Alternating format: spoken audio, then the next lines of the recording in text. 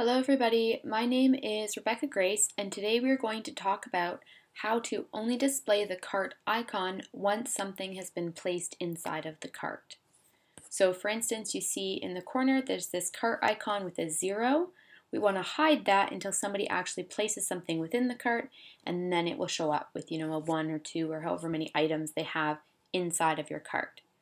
So the first thing you'll want to do is make sure that you have a product page actually displayed and the settings just show the cart as you would like them. So to do that, you click the plus icon and you're going to add a product page. You may want to then add some sort of fake products on your page um, just to make sure that the icon is displaying how you would like. Then go into your design, site styles, and then choose how you would like the icon to be displayed so that you know it's exactly how you want it to be displayed once something has been placed in the cart.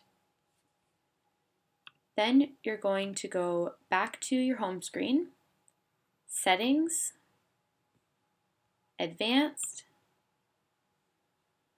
Code Injection, and copy and paste the following code into the footer.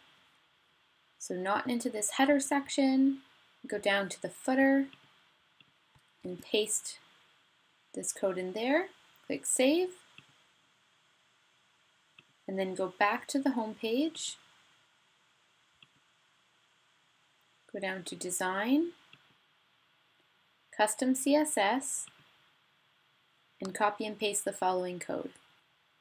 Click Save.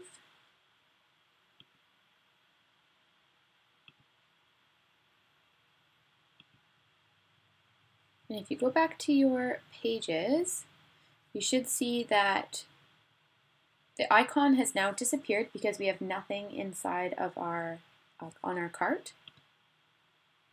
But if we click to our shop,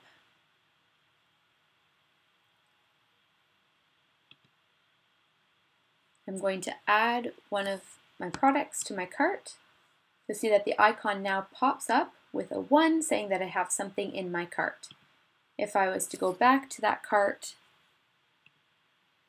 take that item out, so I now have nothing in my cart, the item then disappears again. So that is how you make sure the cart icon only shows once something is actually added to the cart.